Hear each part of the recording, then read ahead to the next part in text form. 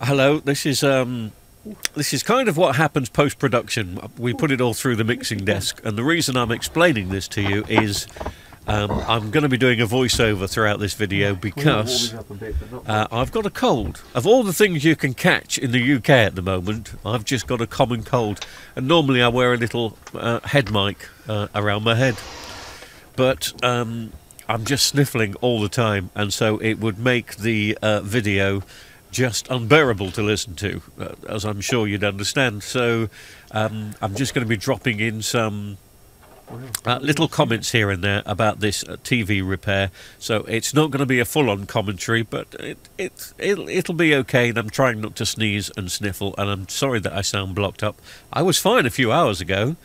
Um, this came on this afternoon, and uh, I'm just finishing off the editing here and um, I picked up uh, the sniffles and a cold today. But as I say, there, there, are much worse things you can pick up. But that's just the reason why you're not going to get a full commentary on this one. It's um, it's an old TV we're going to fix on this particular one, but it's a it's a nice one. So thanks for watching. So thanks for watching.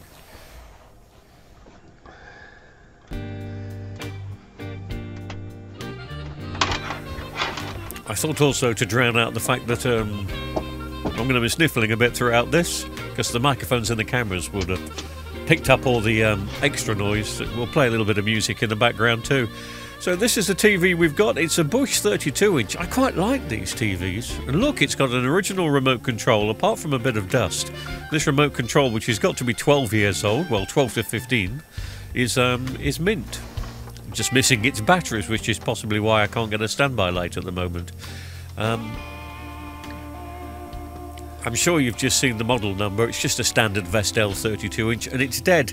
So, uh, what I'm going to do, since there are no batteries in the remote, I'm just going to try and switch it on by the um, little toggle switch which is hidden at the back. There's a, um, a little bit on the main board at the back and you can toggle it and hopefully bring it on.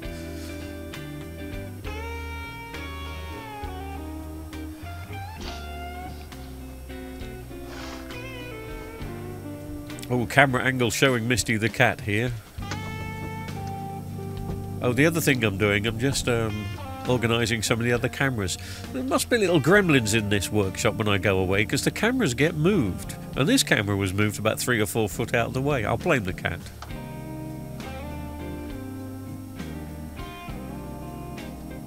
Uh, so this TV was going in the skip apparently, so I managed to um, uh, pick it up. I donated £10 because I quite like these TVs. They may be 12 years old, but they're HD ready.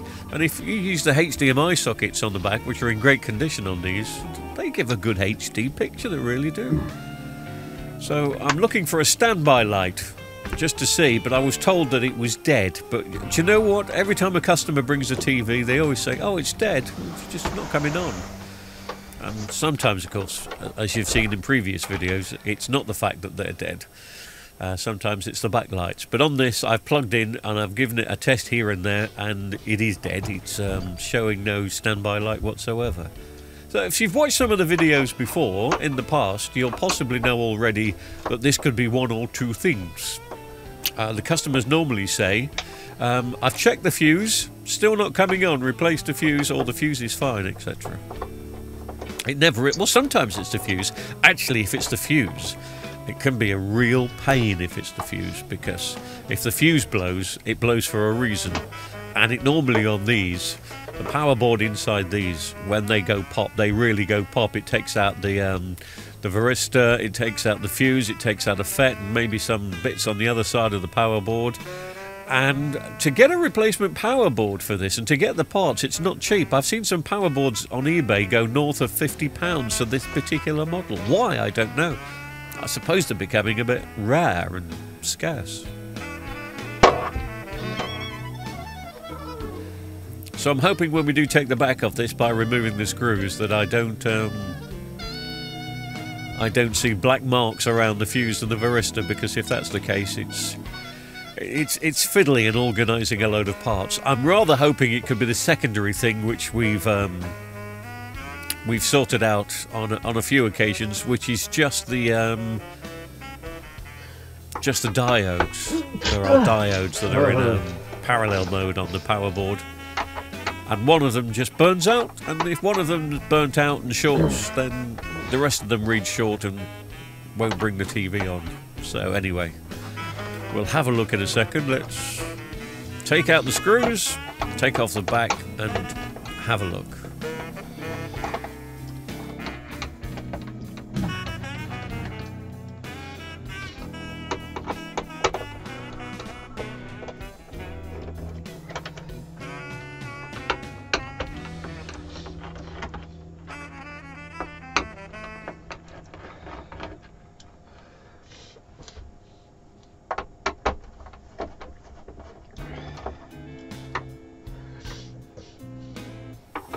Once again, I send my apologies if you hear me um, cough, splutter, and sneeze a couple of times throughout this. Uh, not a pleasant thing to hear, but hopefully the music is the um, is is hiding that, disguising that. That's the word I was looking for. Not a great amount of screws to keep this particular one in. Usually about uh, 8 or 10, something like that. Not forgetting a couple of screws around the SCART HDMI area, which are slightly smaller. This was one of Vestel's entry-level models into the um, edge-lit LED technology. It's not backlit this, this is going to be an edge-lit one. And the edge-lit ones from this era, they never go blue. They will fail after time, but when I say after time, after a good time. Normally after um, well, as I say, this is 12 years old, and the backlights are going to be fine in this. Wish the backlights were just like that these days. Actually, no, I don't. If the backlights were as good as the backlights or edge lights, edge lights in this particular model, I'd never make any money, would I?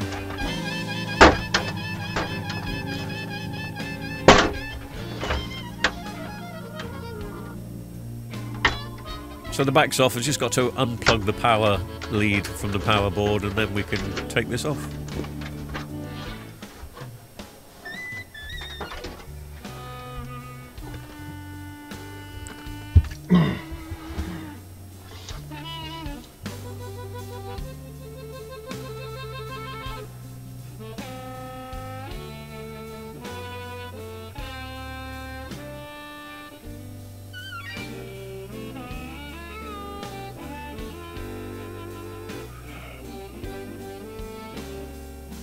So closer inspection of the boards, you can see the main board on the right hand side with the two HDMI's and the SCART socket. SCART socket becoming a bit um, bit obsolete these days. Uh, that's the varistor I was talking about. There's the fuse which is next to it on the left hand side here. Um, normally, if there's a black mark around there, you'll know that that's gone pop, but no black mark, so hopefully we're looking at uh, these three things here. Those three things being the three diodes which normally go uh, on the Vestel sets and on this power board. Sometimes they go within a couple of years. So again, you know, the fact that this TV has managed to get 12 to 15 years. I didn't check the date on the original when I did a zoom in earlier, but I'm, I'm guessing this TV is going to be from oh, 2011, maybe a bit earlier. I'm going to fade the music down a second and fade my voice out just so we can um, uh, listen to the um, multimeter here to see if they're reading a bit short.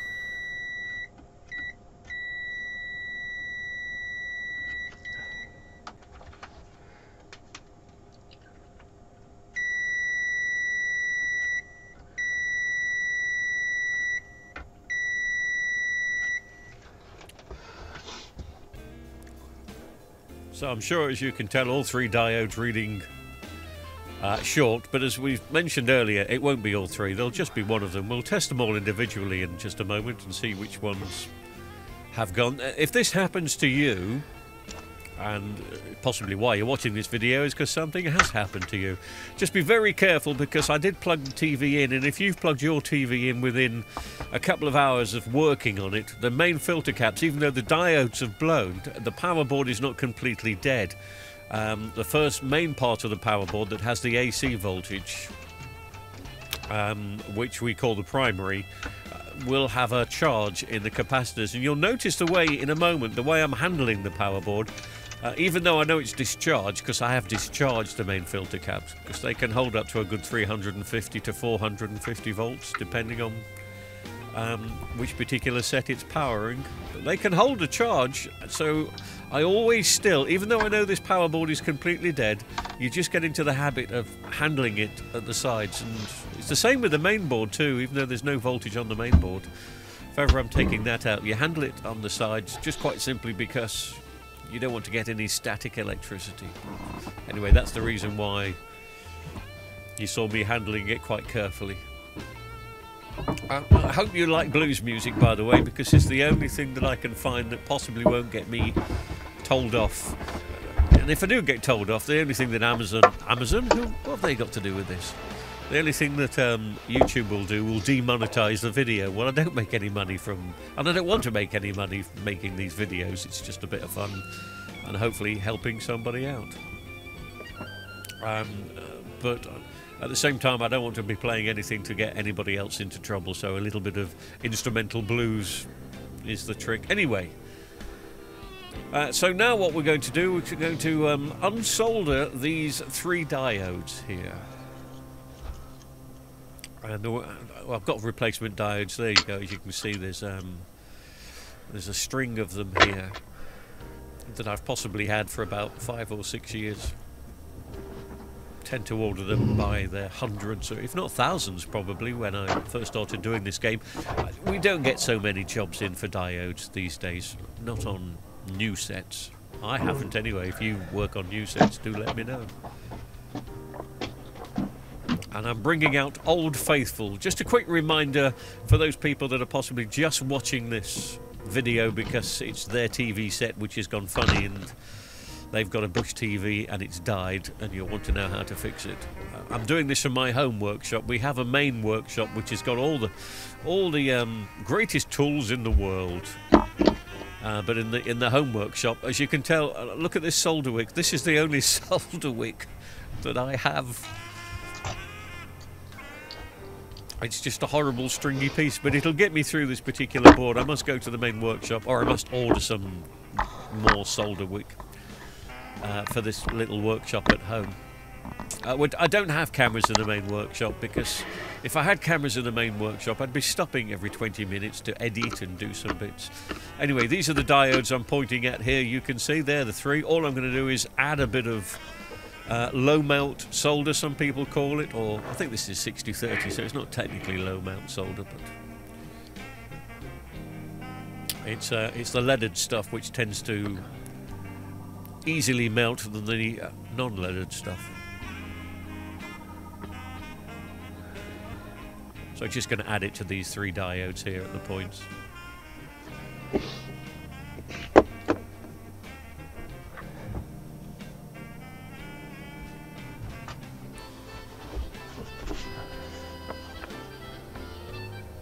I've just got to clean the soldering iron because this soldering iron is filthy. But look, look at what happens. Just a wipe with a paper towel and it makes this shiny and new. Makes the tip look fantastic. I do love this soldering iron. It gets ridiculously hot though. This is, I think, a 60 watt tip on this. Maybe higher. But I have got it plugged into a little adjuster so I can turn it down. And I think I've turned it down to half power on this one because it's a Vestel board and uh, Vestel, by the way, for, again, I'll just repeat myself for those people that don't know. Vestel is a company in Turkey that make televisions on behalf of anybody that wants them. So even though this TV is stamped Bush, um, it's got no Bush parts in it whatsoever. You know, it could be stamped Panasonic, Toshiba, Hitachi, um, whatever you want it to be stamped with. So Vestel make these TVs on behalf of uh, whomever wants them. So this one is marked up Bush at the moment, always stamped Bush. But has got no Bush parts in it, they're all made by Vestel. That's not me knocking it, nothing wrong with Vestel TVs. They serve a purpose, they're cheap, they're cheerful. They last their warranty period, which is more than can be said for some. But of course the warranty period is only 12 months. You would expect your TV to last longer than 12 months, wouldn't you? Anyway, I'm poking the diodes out here. There you go. One's dropped out. I'm hoping the other two will drop out, but nah.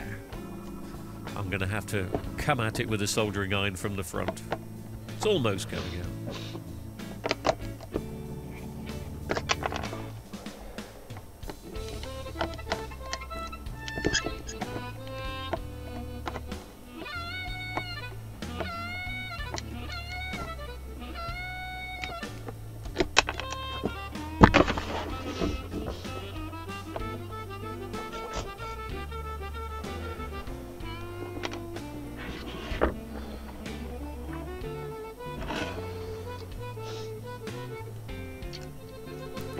Mentioned earlier, it'll only be one of these three diodes that's gone faulty. I mean, I could put the other two in, but the rule of thumb is, and I don't know who Thumb is, by the way, but his rule says that if you're replacing the diodes, replace all three. But we'll, do a little test here, so I'll shut up and wait for the volume of the bleep, if that helps.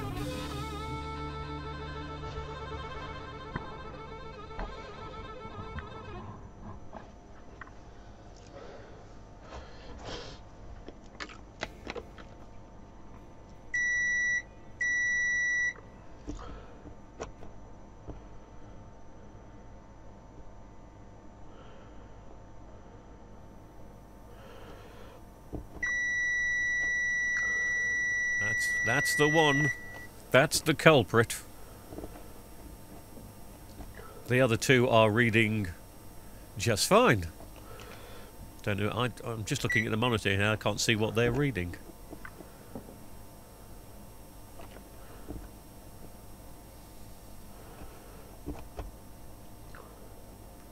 So I think it was it was the middle one Anyway, that's the one that's causing the problems, and so that's the one. Well, we'll throw all three away, and we'll we'll squeeze in um, a couple of new ones. Actually, we better squeeze in three new ones, hadn't we? Really, because uh, otherwise a blooming TV won't work. Oh, actually, just to let you know that if you did manage to find out which diode had gone, and I think it was the middle one on this, we said. If you just chop the middle one out, then the TV will come back to life again. Probably won't last very long. I say very long. Sometimes I've chopped one out just to do a quick repair for a friend or something, and it's lasted for years. But let's do things properly, and let's um, let's replace all three diodes on this TV. As I mentioned earlier, this TV was going to be thrown away, but I offered the chap £10 if I could have it. I don't know what the rule is when you go to a recycling centre. Because if you've ever gone to the recycling centre and seen somebody throwing something away and asked for it, apparently that's illegal. Because as soon as it's turned up at the recycling centre, it's the property of your council. I don't know how true this is. And you're supposed to leave it there, you're not supposed to take it away. But I said, oh, if the screen's fine, I'll give you a tenner for it. Only because I like working on these TVs and I think these TVs are great, the edge lit ones, but anyway.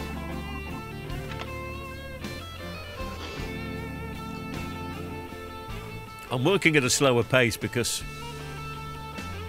of the fact I'm not feeling terribly well, and I'm actually I'm feeling fine. It's just a head cold. But when you've got a head the size of mine, bum, it just makes you work slower. So using that horrible solder wick, the little straggly piece that I've got left in this workshop,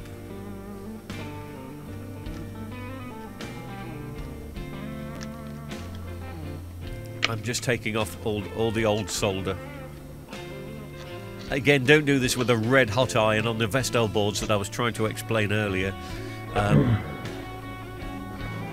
you know, they're made cheap for a reason. And sometimes you can lose the track and the trace if you uh, if you use a red hot soldering iron.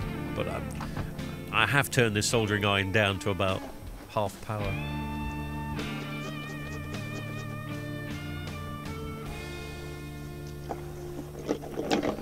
And being the old pro that I am, um, again, look at me scrimping and scraving. This is uh, this is my um, my 100% or 99.9% isopropyl alcohol, which is running out of the bottle. I've got a bigger bottle behind me in a cupboard, but there's a TV in front of the cupboard, and I just can't be bothered to open it.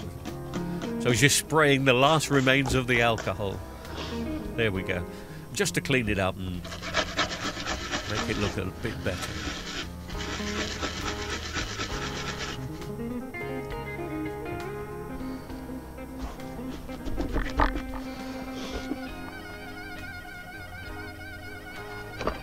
Well, this music is making this video sound like I'm supposed to be some sort of 1950s detective. Hi, my name's Barne Barton.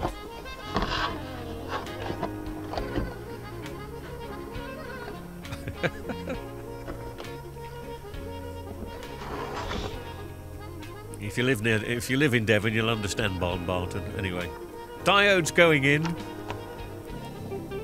Normally, I would make sure all three of these diodes are going very neatly. I'm a little bit OCD with lining them up and stuff, but not when you've got a head cold. I'm just chucking them in.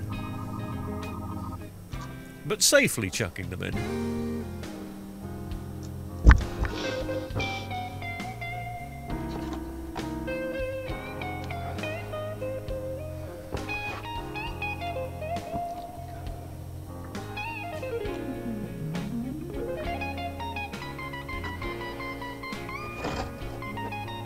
And you have to get the polarity right on these diodes. There's normally a little silver stripe at the top, um, which indicates which way they're supposed to go, and it, it is shown on the board. But you can't see the silver stripe on these diodes, quite simply because I've had these diodes for so long. Uh, it's worn off, but if, if I if you look closely, the silver stripe is there, kind of.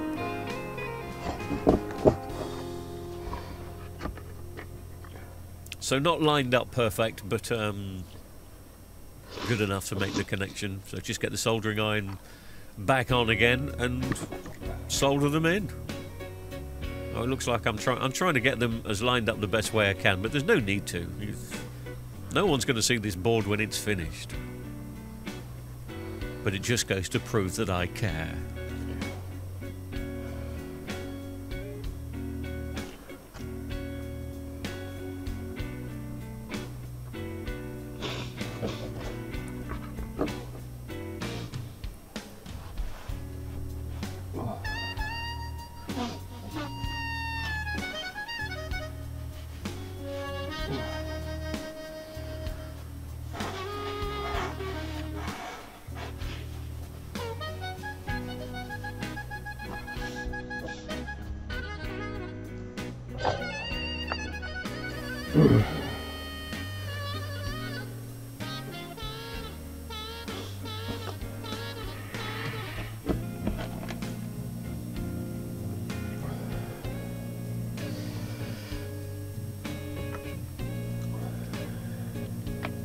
I've just realised that I've got um, what I call the top camera on a, a, low resolution, so you can't see much. But the little square bit in the in the bottom right-hand corner that's on a high resolution, so hopefully that is showing you as much detail as you need to see. But you get the gist anyway.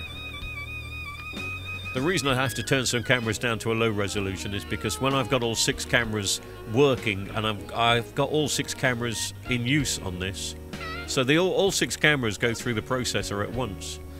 And I haven't got an expensive computer. And if I have them both at a high definition setting, it just, it's hellish and the computer crashes. So I have to turn a couple of the cameras down to a low resolution.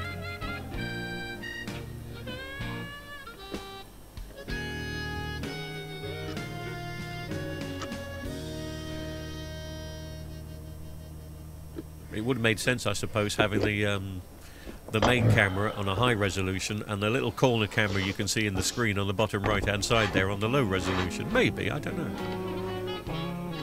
Anyway, there I go again. Look, just trying to level these up. I did say I wasn't going to bother, but obviously I must have thought.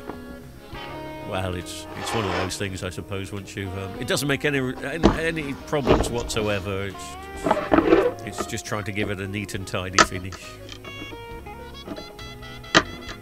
It's a bit like Delia is cooking, you know. It's all in the presentation.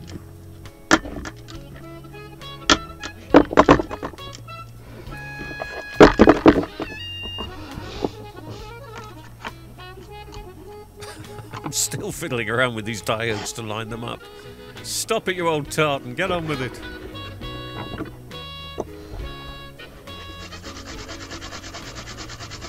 Final bit of cleaning, and that is it. The only important thing to remember if you're sticking these diodes in, just make sure you're sticking the right ones in. I mean, I know the fact that these are 100 volt, 5 amp Schottky diodes, but there's, there's going to be a number on them. It'll say something like LN5100, something like that. Um, just check the numbers of the diodes that you want to replace and make sure you're replacing like for like. There's plenty on eBay and they're dirt cheap. I think diodes cost something like, well, they should cost something like 5p each, but on eBay people put these repair kits together and they um, they tend to charge, I don't know, five or six quid for a, a repair kit of the three diodes. But I think also they put in, it's, it's good to get these repair kits because the guys that do put them together, um, I mean, obviously they'll to make some money on it, that's why they're doing it, but they will they'll put a little bit of solder braid in and they'll also put some solder in, I think, the repair kit, so stops you having to go out and buy too much stuff when it's all there. So this video should hopefully show you how to um, put it all together. Power board going back in.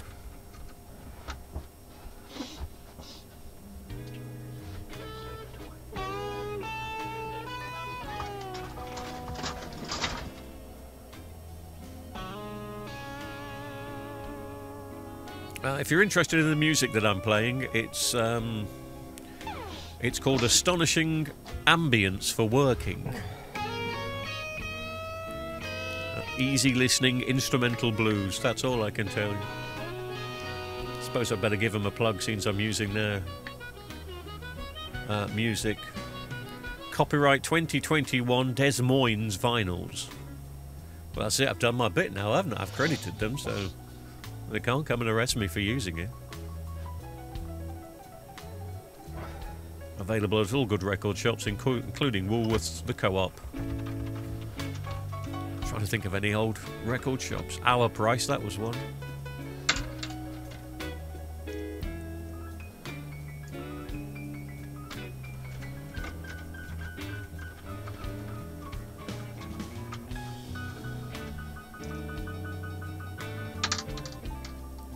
Believe this video is it's coming up to the 25. Is it 25 minutes? No, it's coming up to 28 minutes. Have I been talking for 28 minutes? I'll have a sore throat tomorrow.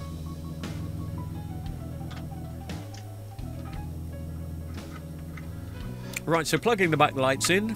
Power board's gone in. All I'm going to do now is. Well, plug it in, I suppose. Find the mains lead and plug it in and see if we get the standby light flashing.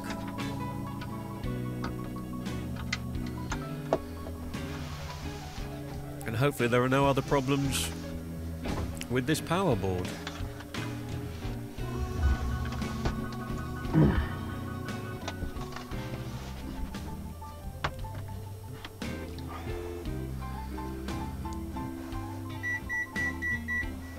Just line up that camera with the um, the red light of the TV. Or it may be a blue light. Yeah, I'm pointing there, that one.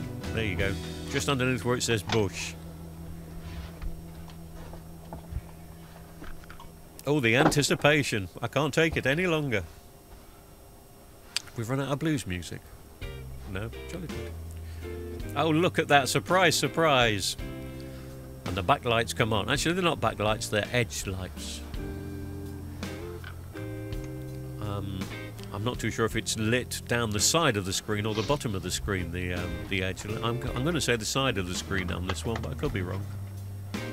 I'm never usually wrong, no am I, let's be honest with you. No. Thank you. I heard that. So we've got a picture, and it's back up and running. It's, it's always a bit nerve-wracking when you, you, you know, you get a TV, not necessarily from the dump, but you've bought one cheap, Got no idea. For all I know, the um, screen could have been smashed, or had a little crack in it somewhere. But turns out that we're okay. So I'm just going to get my portable Blu-ray player, which you know which film's inside this Blu-ray player. my all-time favourite. Oh, bless me! I just sneezed then. COVID.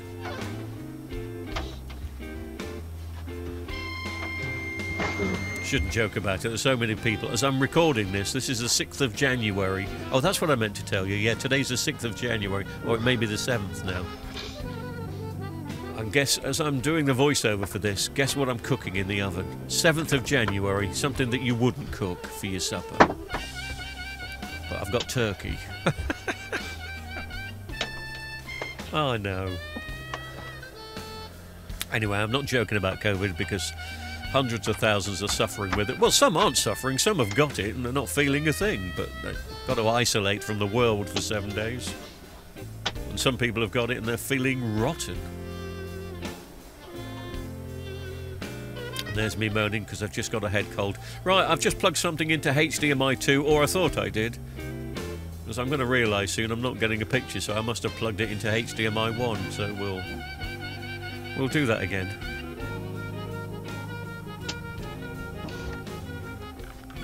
Notice for safety reasons still, even though I know my way around a TV, but because I'm doing it um, at the back of the TV, I still switch the TV off just in case you touch one of those charge capacitors and make your hair stand up. So yeah, it's my favourite film. This um, my favourite movie, which is Last Christmas. I, ju I just use. I, I like it because the DVD comes on with this still of the two main actors in the um, in the movie. Have we run out of music? Oh no, we're getting more.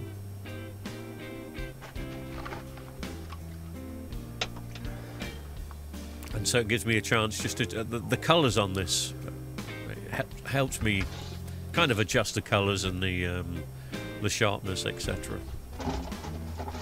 I want to test this remote that came with the TV because the remote that came with the TV is always in mint condition, but there's no batteries in that one at the moment. So I'm I'm just going to see if a brand new Vestel remote. Yeah, it does.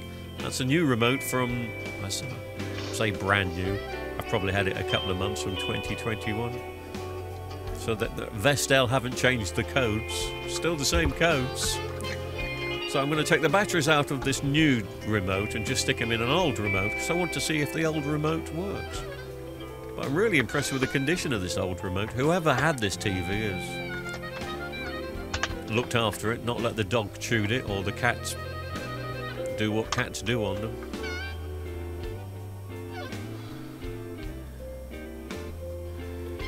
And it works fine.